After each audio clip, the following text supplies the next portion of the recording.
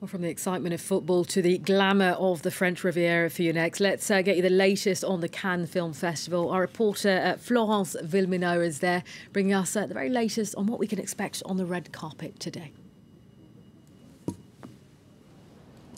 Hey, Rochelle. Yeah, it's a rare moment of calm here uh, on the red carpet. We're expecting uh, the official premiere of an, uh, one of the films in the official competition. It's a film by the Italian director uh, Nanni Moretti. It's called Tre Piani, which means three floors. It's the story about three families living in Rome on three different floors of the same building and all the drama that goes on there. Uh, and, and, then early today, there was actually a red carpet event for uh, a, a, film by a Japanese director called Drive My Car. This is the Japanese director uh, Ryusuke Hamaguchi, and it's based on a story, a short story by the Japanese author, the international bestseller Haruki Murakami. Uh, and it's uh, three hours, this film, well, just under uh, three hours, and it's basically all about what happens in the silence behind long conversations. That's what it's being described at. And later this evening, uh, there's another film because there are three films from the official competition today, so a busy day here in Cannes. And this third film is called Bergman Island by Mia Hansen-Løve, one of the four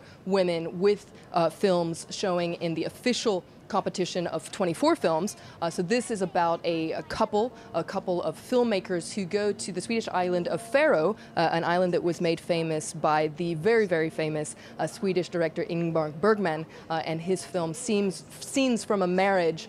Uh, and this island is known as Divorce Island. So, what will happen to this couple? Will it be a, a moment of creation or separation? Uh, that's what we're going to find out later tonight.